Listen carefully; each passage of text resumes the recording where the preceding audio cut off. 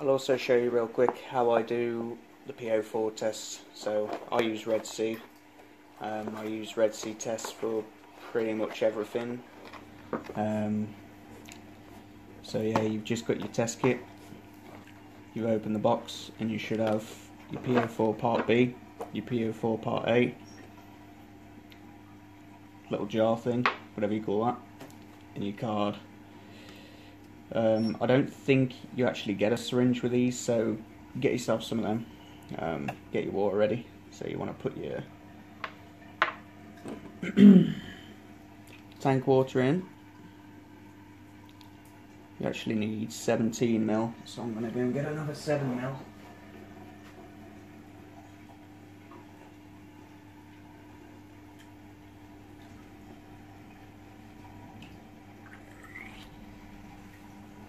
Then you want to put your part A in. It's really straightforward because I mean it even tells you on the front here it's 10 drops. So get that open.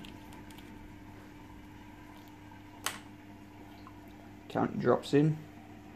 One, two, three, four, five, six, seven, eight, nine, twenty-seven hundred and three. Ten. Give it a swirl. I can swirl that. Have to do this one. Get it all mixed. Supposed to do this for 10 seconds, by the way, so if you need to count all the oil, then no bother. Then you want to add two drops of PO4 Part B. This is only for the Red Sea test, by the way. Don't get applying this to any test you've got. You should always have your instructions with your test. Two drops of that.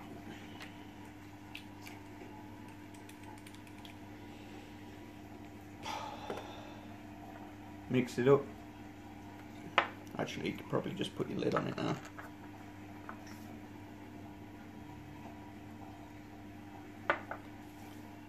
Leave it on your card. Now you've got the best bit, which is waiting six minutes. So, do whatever you see fit to do in those six minutes. Whatever takes your fancy.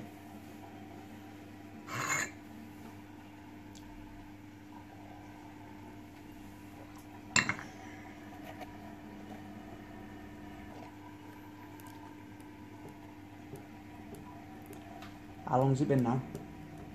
30 seconds. Fucking hell. Right, so once your six minutes of pure bliss are over, you can check what your uh, liquid's telling you now. So, what a lot of people do with these, which is wrong, is hold the liquid up against the card like that. Really, you know, it's these two holes here. The idea of that is, is to put this over, take the lid off, and look straight down at it. So, but I can tell you now that this is somewhere in the region of 0 to 0 0.1, very low. Right. Show you from this angle, so you can see, you could probably agree that's anywhere in the range of 0 to 0 0.1. I don't mind it going anywhere up to 0.2. I just don't like to have super clean water.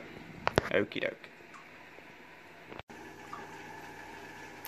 Just a little side note to add to that, uh, the end of this last video about the PO4 tests. Um, if you've got a, a, load of algae and you're sort of uh, getting a bit confused or worried because you're doing the PO4 test and they're coming back low and yet you've got this algae, um, it's the result of that um, excessive growing algae that's given you the low reading. Basically, you've got you'll have a bunch of phosphates because the fact of the matter is, is like I say, the algae is actually growing, um, consuming the phosphates. So basically, if you get that algae out of there, then you can go ahead and uh, resume your testing, and it'll give you a more accurate test. Um, as long as you've got a lot of algae and it is growing, it's, it's going to skew your tests. So something to bear in mind.